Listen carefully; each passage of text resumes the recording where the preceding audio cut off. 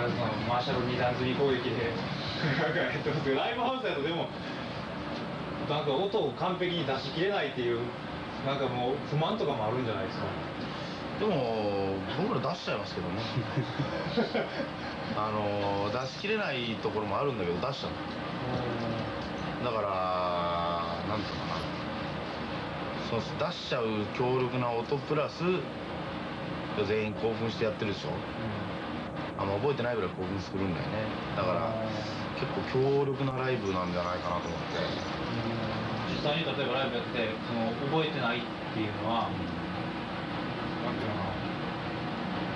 曲例えばどんな風に弾いたか覚えてるとかそういう。あのまるで覚えてないんじゃないこの曲をやってるなとかあそこで誰かが転んだなとかなんかそんなことは全部覚えてるんだけど、その時に自分がどういうプレーをしてるかとかまでは入り込んでて分かんないね。で後でテレコ聞いてみてこんなことやってたとかっていうのが結構あってそれは少なくとも去年まではなかったそれだけやっぱりなんつうかこう演奏するとかステージの上にいるっていうことにすっごい集中してるから発見も多いですよね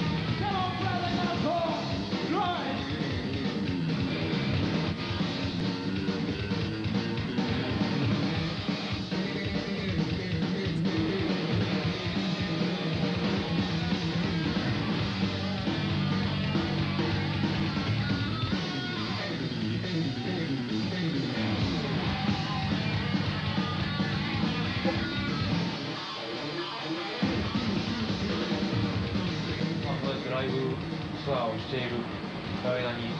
ベスト版というか一応ベスト版と言っていいんですかね。ベストですね。え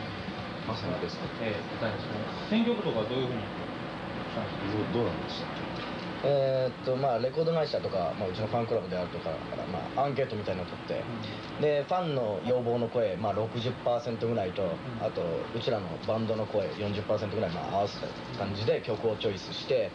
で選曲、えー曲順とかはねドラムのマットが決めたりとかして。けよくベストアルバムっていうとバンドのヒストリーっていう部分で必要以上にこう思い入れを入れてねタイトルでも「 Fire in the Sky」とかさ「 Fire なんとかライブ」とか、あベストとか、なんかそういうのつけるでしょ、え俺らは自分でやってきたことには自分たちの中ではものすごい誇りを持ってるし自信はあるから、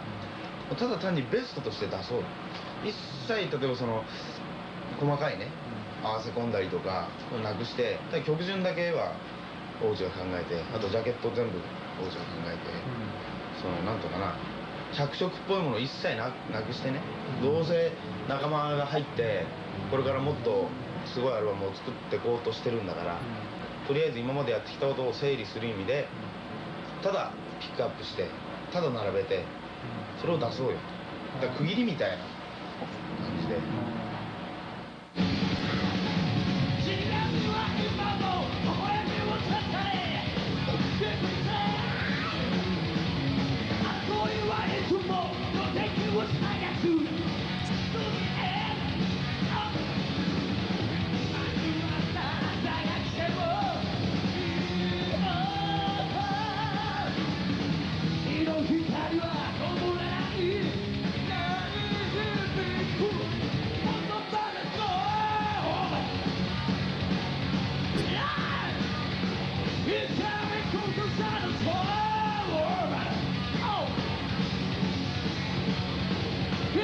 こ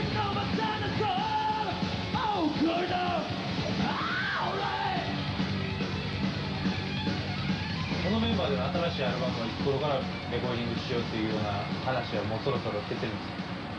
ど出てるのかなまあ予定だと来年の春あたりになるんじゃないかなという話は出てますよね。もうちょっと先ですね。できれば今年中に撮りたいんだけどうん。またイギリスかどっか行ってね。本当はバハマ行きたいんだけどねバハマ。コンパスポイントっていうのはあバハマっつうとなんかのほほんとしてるように見えるんだけど ACDC とか、強力なアルバムをこう出してるとかなんだけどね。予算の都合上バハマは行けなくなりそうなんで。まあせめてあの大英帝国に行ってねもう一度。強力なエコーを求めて。ヘビーな音を追求してこようかなっていう感早ければだから今年の暮れぐらいにはレコーディングにロンドンかどっかに行って行けるかなっていう感じかなじでまた音楽雑誌にそのレコーディングレポートとかが載るわけですね。そう嫌そうに笑わないでくださいレコーディングの時はでも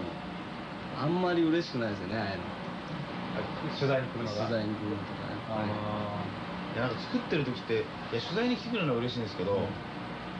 あのー頭がいっぱいだから、相手してあげられないですねー答えられないようなうんムッとしたかもしれないですね。あどうですか調子はとか聞かれてもいいわけねえだろこの野郎だか。らねどうって言わないけど。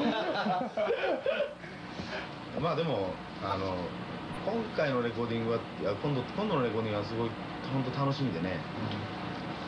強力なのも入ったしね、